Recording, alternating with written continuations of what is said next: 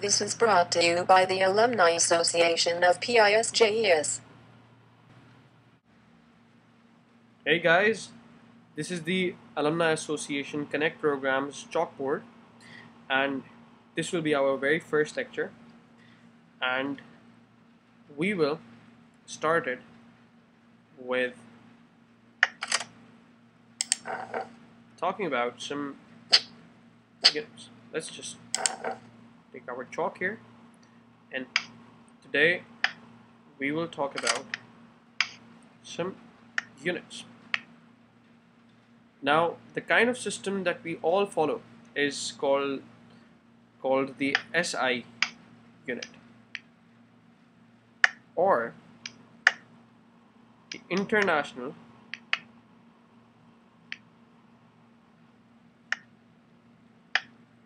System Units. And this is the most common form of units that we use in science and commerce equally. So we will be talking about these and there are other kinds of units as well. For example the English unit or the imperial units or the American system. So but we'll just keep them aside and we'll talk about the SI unit. First of all you all uh, will be familiar with some of the most common units that we have. For example, mass. The SI unit for mass is kilograms. Now we have another quantity which is distance. The SI unit for distance is meters. If I this is these are the symbols here. These ones are the symbols. And these are the full forms I'm writing here. Kilograms and meters. And uh, after this let's take speed. That is another quantity. And the symbol for the unit of speed is m divided by s which stands for meters per second. We'll talk about all of these separately. And the last common one. Oops I'm sorry. Okay. It's acting up now. So time. And the unit is symbol is S and full form is seconds.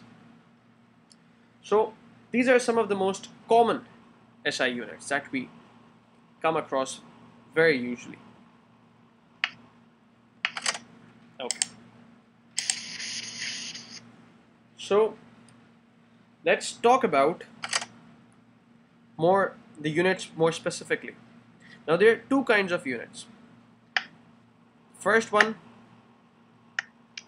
is the basic unit. And the other one is, I'm sorry for the bar, it just can't stop. The second one is the derived unit. Now what is a basic unit and what is a derived unit? Basic unit is basically an independent quantity. It, it's not made up of two uh, units put together that you will see uh, in the derived unit section. Basic unit is just sole, solely and independently one single unit. For example, we just talked about mass. Mass is a unit of kilogram.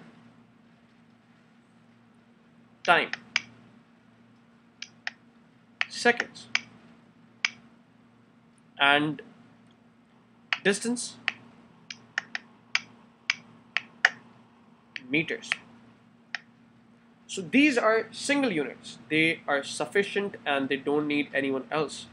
Like the meters for distance you don't need seconds. For time you don't need kilogram. You can just express it individually. But for the derived units let's take an example. For the derived unit best example for derived unit is speed, which we all know is meters per second. Now, as you can see, the meter comes from here and the second comes from here. So basically, a derived unit is formed by combining two basic units. Let's take another example. Force.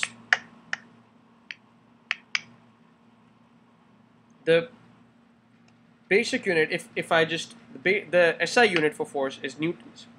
But if I write it simply, and I will explain in the following lectures how we got to this, but we can also write it as kilograms time times meters per second square.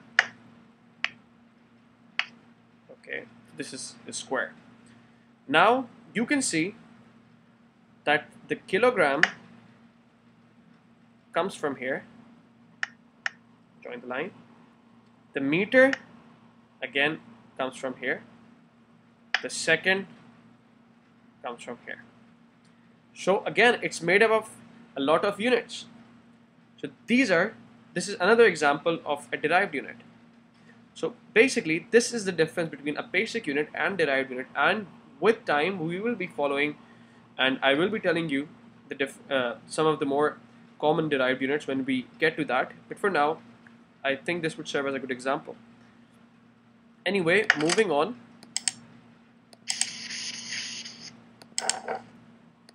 I think we know a lot about units for now, as in the basic information, but let's see where it comes to the practical use, the, the units. For example, let's talk about why do we need them? Sorry. Why do we need them? For example, I say I have a speed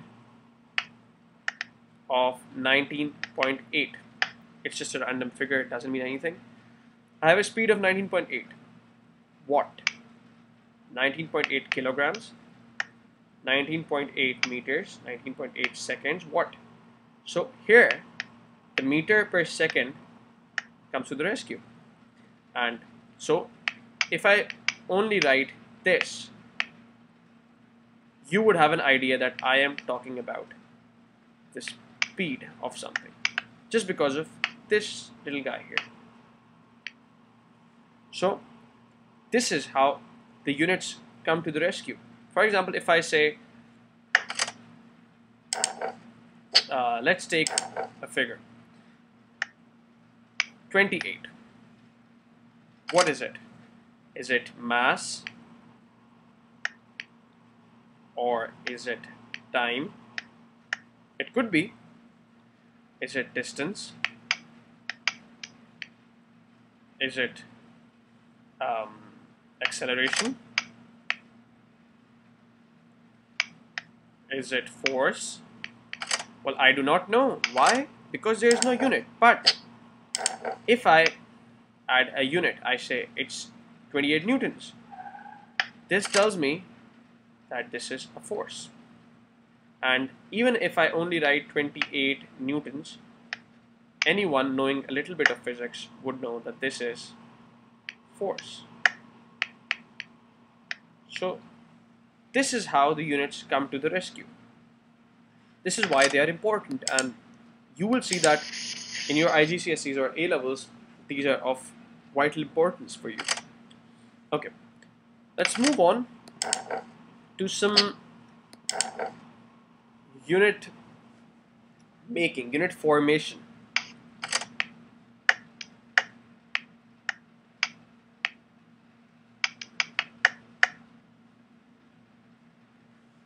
What is unit formation? If I say speed has a unit of meters per second, it's not like it's just there from the beginning of the time. No, it was not. It was, they came out, the, the scientists or whoever the guys were, they came out with something. They came out with a theory. They came out with a formula to get this. And this is very logical. You do not have to you know memorize the units. There is a logical way out of finding out the units. For example most of you would know for the for the beginners I, I think you wouldn't know but most of you would know speed equals distance over time now I'm gonna be twisting the same formula for three times and we'll be finding out the units. This requires basic multiplication and division. For example, now I want to find the unit of speed and I am a layman, I do not know the unit of speed. So what I do, the way to find out that the unit of speed would be to find the unit of distance. What is the unit of distance? The unit of distance is meters and distance is, is being divided by time. The unit of time is seconds. So the unit of speed would be meters divided by seconds which we commonly pronounce as meters per second. Now let's take the same formula and just a little twist here and there. Let's see. Time is calculated by the same formula and this is the formula. Distance over speed. The unit of distance is meters and the unit of speed is meters per second as we have just found out here. So what I'm going to do is I'm going to divide meters since it's dividing here divided by meters per second. Now we all have learned in this in our basic multiplication that let me just clear this space and start again from here. This was